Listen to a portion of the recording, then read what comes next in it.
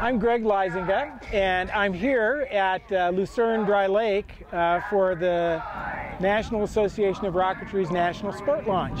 Two, one. I've been flying rockets ever since I was a little guy. I can still see the Sky and Telescope magazine with the little ad in it that said fly your own rockets and I got really excited about it and saved up my pennies and got my first rocket and uh, the, the first rocket I ever flew actually was a WAC Corporal. It was, uh, it was a little uh, rocket about uh, 12 inches tall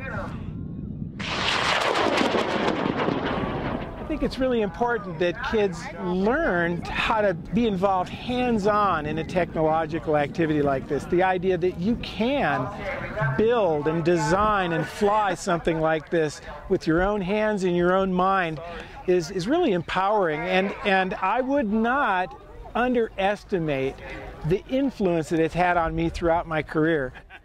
I uh, have uh, been a member of the technical staff at JPL for the last 31 years.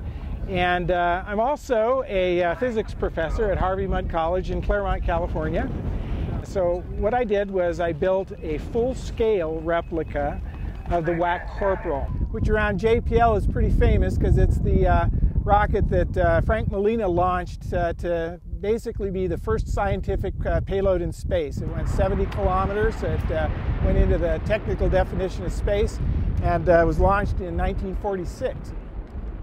So uh, as a little uh, homage to JPL and to Frank Malina, my son and I cooked up this uh, slightly crazy project and decided we wanted to fly a full-scale WAC Corporal. So here it is, and so our fingers are crossed, and let's see if we can get this guy up in the air. We just have a little bit of work left to do here in terms of arming the uh, flight computers, the electronics, checking everything one last time, saying a little prayer, and then uh, hoping that the wind isn't too high, and off it goes. It's not going to go 70 kilometers today. This has uh, an M motor in it, which should propel it about 4,500 feet, and it'll come down in two pieces under two parachutes. All right, trailer out there at the far end of the range. Greg Huizinga uh, with his Aerotech M1939 WAC Corporal going in 10, 9, 8, 7, 6, 5, 4, 3, 2, 1, launch. We have ignition and liftoff.